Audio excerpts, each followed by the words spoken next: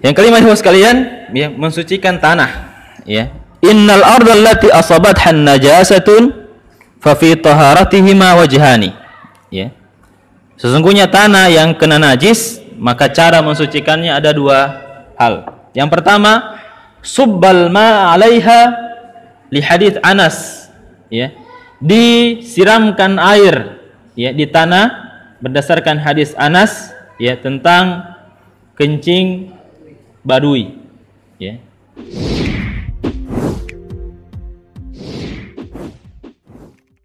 Bahwa badui yang ketika kencing di masjid apa dipakai? Ya cuma air satu ember besar ya ada ember di situ contohnya itu. Ya ember besar siram kering selesai. Ya. Yang kedua jafafuha wuyubsuha bisyamsi wal hawa.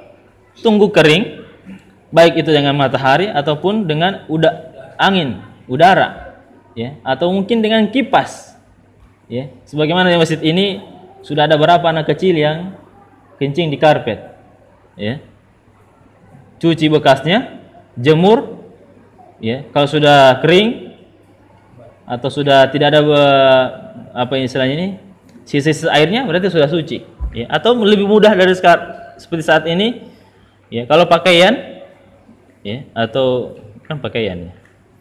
Ya apa yang seperti ya. Ya kalau pakaian gampang ya. mesin cuci kering selesai pakai ya walaupun tidak terlalu kering. Ya tanah tunggu sampai kering. Ya dasarnya apa?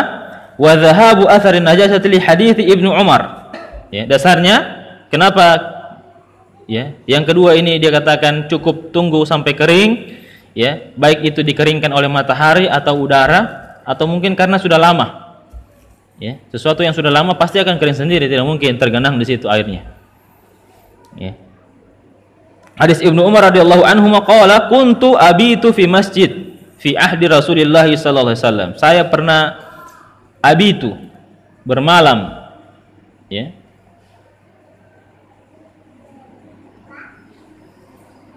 Bermalam di eh, masjid ya pada zaman Rasulullah SAW wa kuntu fatan azaban sedangkan saya masih muda belum menikah azaban ya Ibnu Umar wa kanatil tabulu ya. Wa biru fil masjid ya. Anjing itu kencing ya di masjid. Anjing ini anjing bukan Arab Badui ya. Walam yakunu yarushuna syai'an min dalik ya. Tetapi mereka tidak ya menyiram sedikit pun dari bekas kincing anjing itu. Artinya dia bersih sendiri ya kering sendiri ya. Karena mungkin juga tidak ditahu di tempat mana yang harus dibersihkan ya. Namanya anjing lewat bukan cuma lewat seperti manusia kelihatan ya. Anjing kadang tidak kelihatan maka ya tidak ada juga ya disebutkan tentang kita harus cari-cari baunya dulu ya. Ada orang yang cium yang kuat hidungnya mencium bau tidak. Cari-cari di mana di sudut mana yang ada. Ya, apalagi zaman itu eh, tanah ya cepat hilang. Ya. kalau di masjid ini barangkali akan ketahuan. Ya oh ada di depan dulunya Pak Anto. Ya.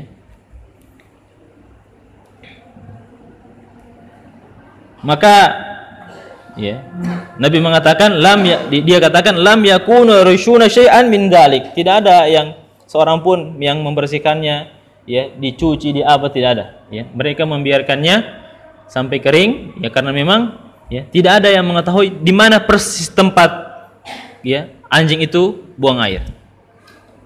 Ya.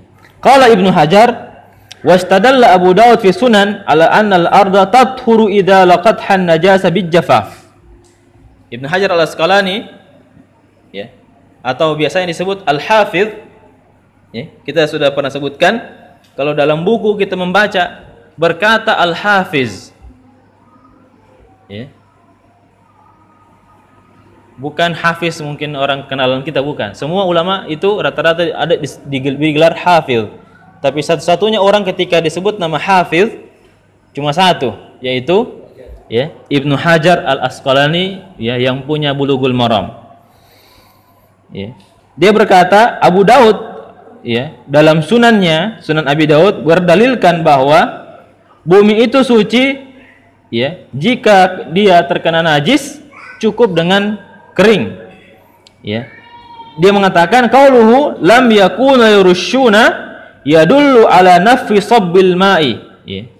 Ucapan ya, Ibnu Umar mereka tidak ya, menyiramnya. Ya, ini menunjukkan ya tidak adanya air yang disiram di tempat itu. Ya, ketika tidak ada yang disiram berarti ini ya menunjukkan tempat itu sudah menjadi suci.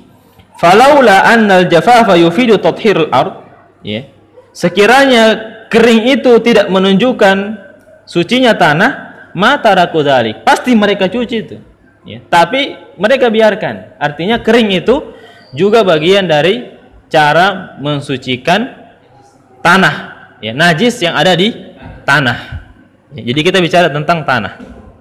Ya, kalau pakaian barangkali kalau ya dalil yang dipakai Syekh Utsaimin selama zatnya sudah hilang dan yang diinginkan dari baik bau itu juga hilang maka berlaku juga di tempat yang lain. Ya itu dalil yang dipakai Syekh Utsaimin ketika mengatakan bukan hanya air yang dipakai untuk bersuci. Ya. Ya. Ya dan tidak ada yang tersembunyi dari najis yang ada di tempat itu. Artinya sudah jelas ya. Kering itu menunjukkan atau mereka membiarkan tidak disiram itu sudah menunjukkan bahwa itu salah satu cara mensucikan ya e, najis khususnya yang ada di tanah.